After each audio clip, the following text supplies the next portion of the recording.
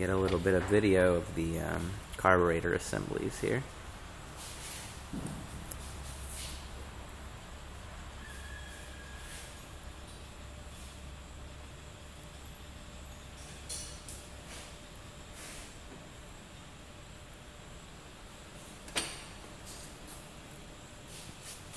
see that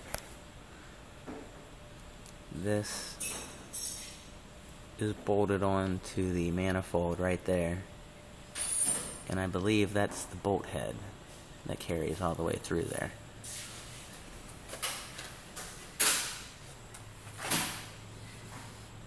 And that's attached right there.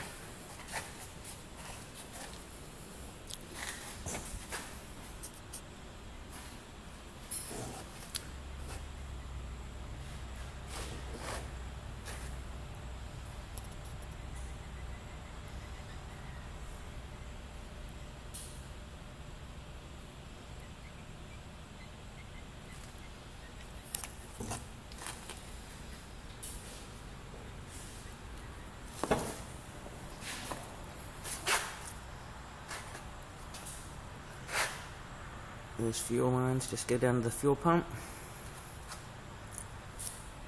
They're just tied together there. They come across. And this one's just a mirror image. Minus the...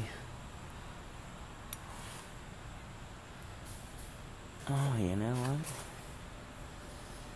I don't believe that's actually attached right there. I think that's just a butt plate up against the side of the manifold. Hmm. Guess we'll find out.